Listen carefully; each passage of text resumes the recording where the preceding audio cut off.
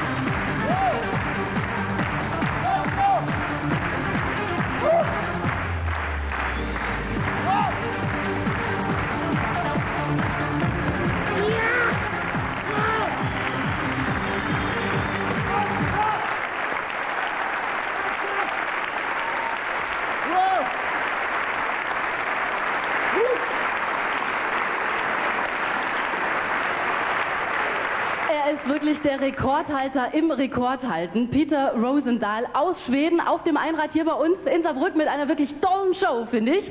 Hat er prima gemacht. Ganz klasse. 33 Einträge hat er im Guinness-Buch der Weltrekorde. Er ist 18-facher Weltmeister, unter anderem einen Eintrag für die meisten Seilsprünge auf dem Einrad. In einer Minute 169 Mal und er hat noch seinen eigenen Weltrekord gebrochen. Peter, mit äh, zwölf Jahren hast du deinen ersten Weltmeistertitel bekommen. Wie alt warst du, als du angefangen hast mit dem Einradfahren?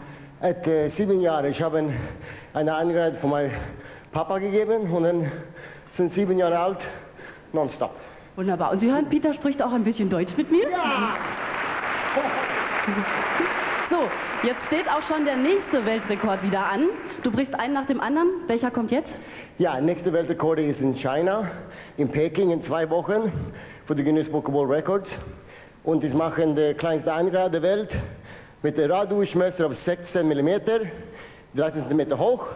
Und wir fahren 13 Meter an das kleine Ding.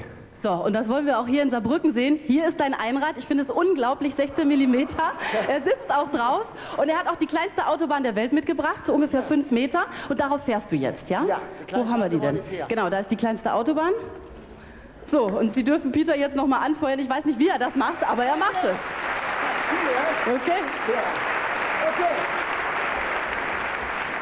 Okay.